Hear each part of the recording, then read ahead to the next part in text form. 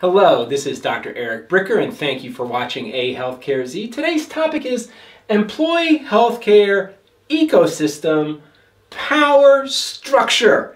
Yeah, whoo, that's a mouthful, but it's super important in every industry, including employee benefits and health insurance and employer-sponsored health plans, to understand that that industry has a power structure and how you, as an incumbent or as a potential disruptor, how you fit or don't fit into that power structure.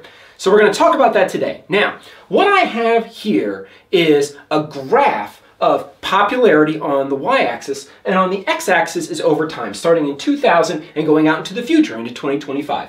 And what we have here are bumps of various disruptors in the employee-sponsored, employer-sponsored health plan space. So, going back to, believe it or not, to the early 2000s, the big thing was disease management, as sort of highlighted by companies like Active Health Matters and Health Dialogue were like two of the prototypical disease management companies. So fine. So disease management was all the rage for employer-sponsored health plans as far as their quote-unquote cost containment efforts go, as quote-unquote disruptors go. Okay, but then it faded. And then something else grew. And that something else that grew next was wellness programs. Around 2010 to 2015, as disease management was waning, that's when wellness programs were growing like weeds. Sort of the quintessential wellness programs were things like uh, Red Brick Health and uh, and Virgin Pulse, right? Who, who, by the way, merged together, right? So wellness was all the rage. And this is when we were starting out at Compass. And we would meet with employers, and we would meet with brokers, consultants, and they'd be like, yeah, your navigation solution,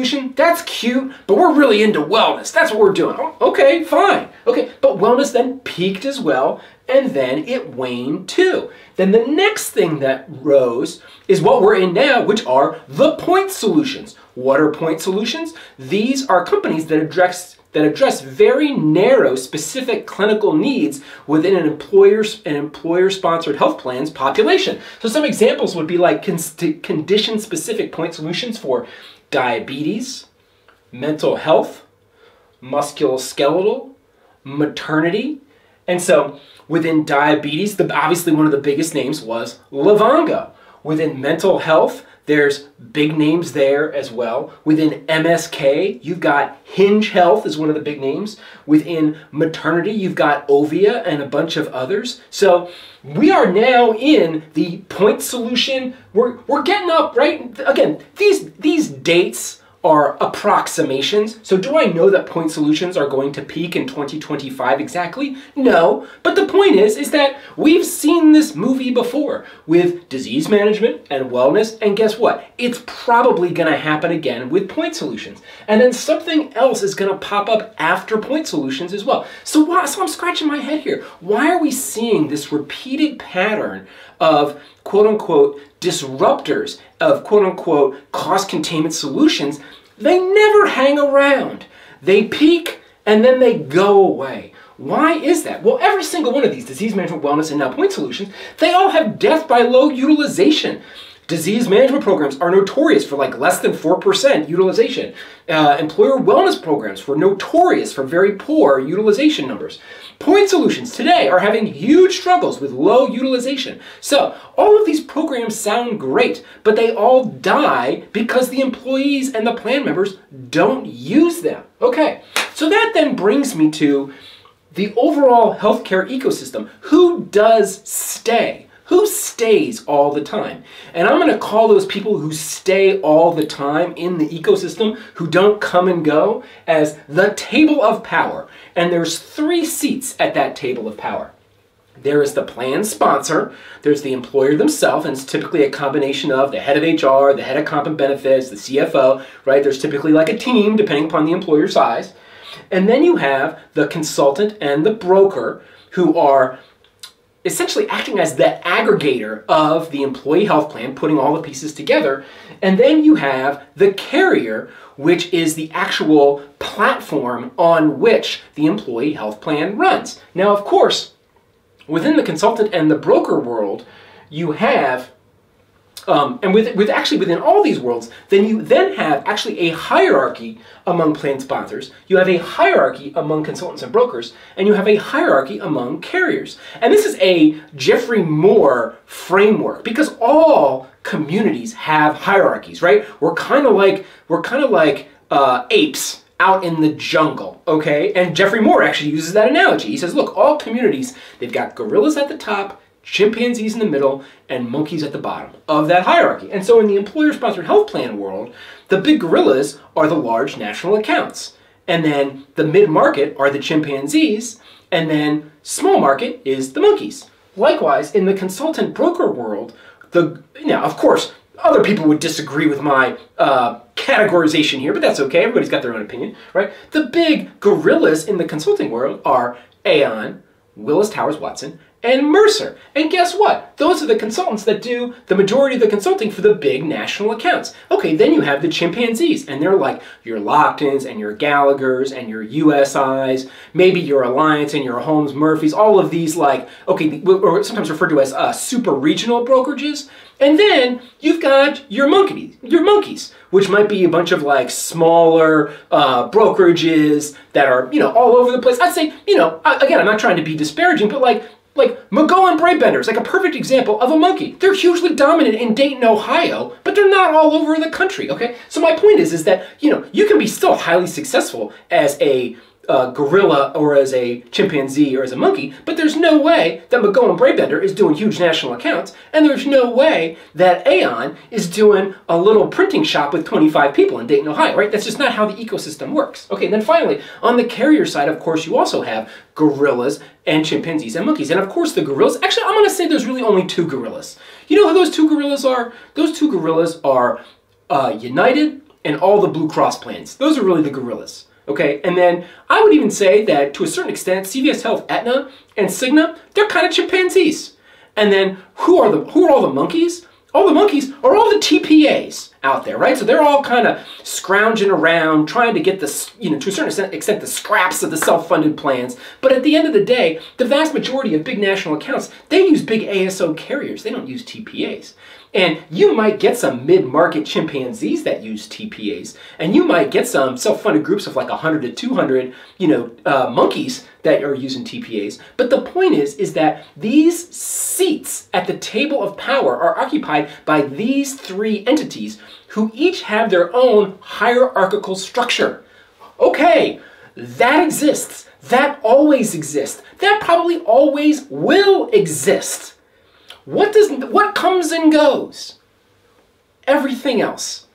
These fourth all these fourth parties my old company, Compass included, was a fourth party. That's why over here on the side, I added, who was kind of sitting on the side of the table, is the HRIS system and the Ben admin system. Because to a certain extent, the plan sponsor needs a platform to do a lot of the integration of the other carrier stuff too, right? Because you, you got Blue Cross United Cigna Aetna, but they're not doing dental, they're not doing vision, they're not doing STD, they're not doing LTD, right? So you've got these other vendors as well, which, oh, by the way, you also have gorillas, chimpanzees, and monkeys within that as well, right? So obviously, um, like for vision, it's VSP and EyeMed are the gorillas of vision. And then for dental, obviously, you've got like MetLife and Delta Dental that are like the gorillas of dental, right? So it, it keeps, and then there's other groups, yada, yada, yada. Okay, so fine. So that's why we hitched our wagon to uh, a Ben Admin platform in Alight Solutions. And Alight Solutions is way connected in with a whole bunch of HRIS systems. So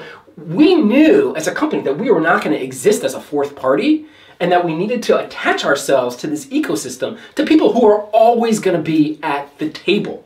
Okay, and that's fine. You're saying to yourself, yeah, but I work at a point solution, or I'm a startup and I'm I want to create the new next wave of things that comes about. Okay, is it pop this? And oh, by the way, this relationship here is a natural business to business relationship. This exists in enterprise software all over the place. For example, there are platforms like SAP and Oracle, and then there are integration uh, business to business services like Accenture and Cognizant and all these other sort of customization companies. And that's exactly what the consultant broker are. The consultants and the brokers, they're like Accenture and Cognizant. They're the customization integrators at the individual employer level. And then the carriers are like SAP and Oracle. They're the big platforms, okay? Now notice that the, the uh, Accenture doesn't create its own platform, and the platforms don't create their own Accenture, right? So they're separate worlds, just like you have here. They're separate worlds. Now, when it comes to innovation,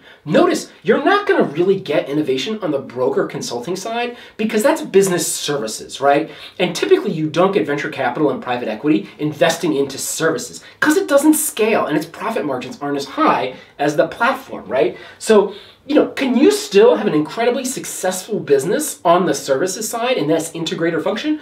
Of course. But just know that that's just not where the startup ecosystem is because all the VCs and private equity firms and all the people providing the capital are like, we don't invest in services. That's not what we do.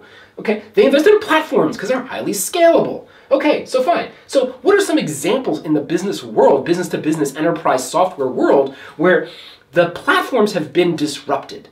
Okay, so if you're if you want a seat at the table, if you really want high utilization, if you really want to be because of course the carriers, they hate all these guys. The carriers hate disease management, they hate wellness, and they hate point solutions. So what do they do? They're either going to buy them or they're going to build them, right? So Aetna bought Active Health Managers, uh, uh Active Health Matters, right? And in terms of like all the carriers, they started, you know, offering their own uh, wellness services. Likewise, a lot of the consultants and brokers, they also are started offering a lot of their own wellness services. So like the people at the table of power are either going to buy or they're going to build that fourth party. The fourth party is a temporary organization that is not allowed to exist for a prolonged period of time in the ecosystem. It's only these three, okay? So just know that, right? So that, and that's true in the enterprise software space too. And that's where you have disruptors who said, look, we're going to replace the platform. And that, and one of the most successful companies that has done that is Salesforce.com. It's one of the largest uh, uh, software companies in America. I would highly encourage you to read the book Behind the Cloud by Marc Benioff. It's actually highly instructional for how healthcare startups can disrupt health insurance carriers. Okay, as far as I'm concerned, Marc Benioff, like, it's not necessarily a household name, like he's not Steve Jobs or Elon Musk, but Marc Benioff is a genius. Okay, he built Salesforce.com from uh, from scratch with no private equity or venture capital. Okay, he tried to raise venture capital, he was unsuccessful. He said, "Screw it, I'm going to make this company succeed, succeed anyway." Okay, hugely successful. Okay, next up, AWS. Shoot, they're selling books and like, oh, you know, like dimmer switches online, right? And they're like, we're gonna get into enterprise cloud software. And guess what? They totally did. And they ate the lunch. I mean, would SAP and Oracle, do they wish they could have had what AWS had? Yes. And they totally missed the boat and they got schooled, right? And both these solutions, Salesforce and AWS, sort of the classic combination of the improved value proposition. It ain't rocket science. It's better, faster, cheaper. Okay, so Salesforce.com was better, faster, cheaper. AWS was better, faster, cheaper. So can the carriers be like replaced at this seat at the table? Absolutely they can. With better, faster, cheaper solutions, and I guarantee you that the broker consultant integrators, believe me, they are looking for something else other than the carriers. Okay? In fact, that's why the carriers have to pay the broker consultants. They gotta pay them override payments to keep them loyal. If the carriers were really that awesome, they wouldn't have to pay the broker consultants override payments. Okay? So the point is, is that as you're thinking about starting a business, as you're thinking about, okay, am I one of these fourth party thingamabobbers? Just know that, you know, can you be successful? Sure, but you're kind of temporary. You're not going to hang around for forever. Like if you want to make temporary change, then you need to unseat the carrier. Or, I mean, if you're not going to go the VC private equity route, then sure, you can unseat the broker consultant. But just understand, like, the battle that you're getting into if you're going to go into this war. And that's my point for today. Thank you for watching A Healthcare Z.